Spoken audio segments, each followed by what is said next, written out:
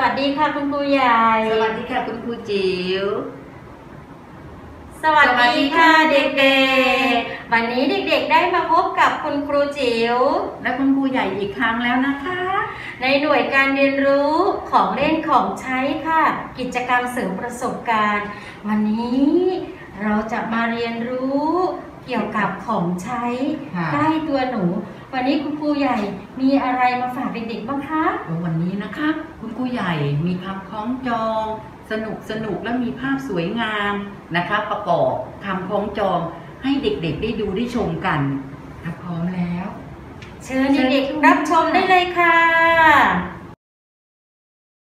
ของใช้ใกล้ตัวหนู เรื่องมนฤดีทองกลอย ภาพ ตู้อบ เล่าโดย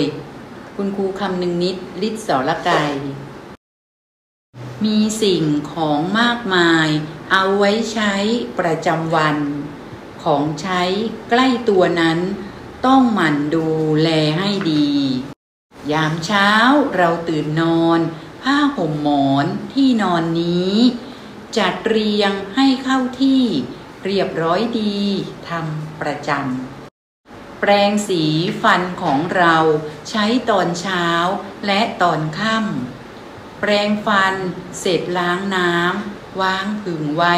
ให้เป็นที่ เสื้อผ้าใช้สวมใส่ ปกปิดร่างกายเรานี้ ซักตากพับอย่างดี รีดใส่ตู้เสื้อผ้าไว้ เตรียมตัวออกนอกบ้าน ของสำคัญที่ต้องใช้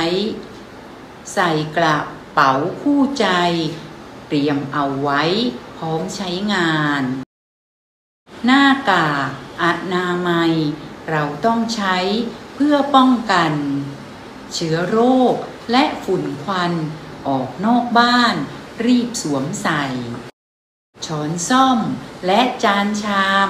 อีกแก้วน้ำที่เราใช้ ล้างสะอาดผึ่งไว้ แห้งแล้วเก็บให้เป็นที่ ของใช้มีมากมาย เราต้องใช้ถูกวิธี เช็ดล้างสะอาดดี เก็บเข้าที่เมื่อเลิกใช้ ของส่วนตัวทั้งหลาย เราไม่ใช้ร่วมกับใคร ของส่วนรวมใช้ได้ ผัดกันใช้ ร่วมแบ่งปัน ของใช้ทุกอย่างนี้ล้วนแต่มีความสำคัญ เก็บไว้ใช้ได้นาน ดูแลให้สภาพดี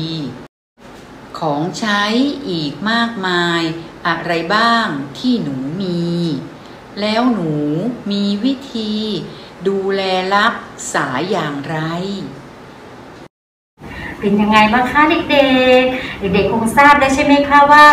อะไรคือของใช้ส่วนตัว นอกจากของใช้ส่วนตัวแล้วมีอะไรอีกคะคุณผู้ใหญ่ อ๋อ ก็มีของใช้ส่วนรวมค่ะเด็กๆ ของใช้ส่วนรวมก็คือของใช้ที่คนอื่นใช้ร่วมกับเราด้วย ก็เช่นก๊อกน้ำที่กดน้ำดื่มนะคะ โต๊ะเก้าอี้ที่เราใช้ นะคะ นี่คือของใช้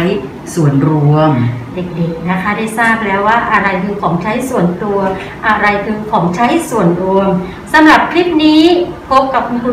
จิ๋วและคุณครูใหญ่เพียงเท่านี้ก่อนนะคะ สวัสดีค่ะ